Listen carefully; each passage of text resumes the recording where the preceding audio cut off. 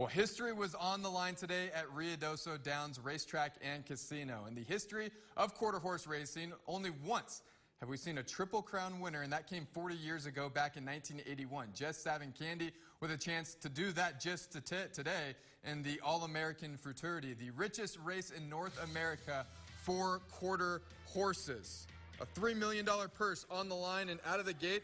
It looked good, but about midway through it was KJ Desparado, a terrific start from post position nine, 440 yards to the finish line, and left little doubt to this one. KJ Desparado winning the 2021 All-American Futurity, Jess Savin Candy coming in fourth. We caught up with the winning jockey, that is Adrian Ramos, an El Paso native and a graduate of Gadsden High School. You know, the horse warm up really good, and then break, I, I break like second, and then he started getting it, and uh, in the middle of the road, I know that he was he was gonna finish stronger, and, and he did it. He was logging in a little bit, but he was in front. It's really special for me. It was it was my dream since I started riding. A Labor Day tradition up there in Ruidoso, and our special thanks to photojournalist Marlene Barraza for capturing the moment.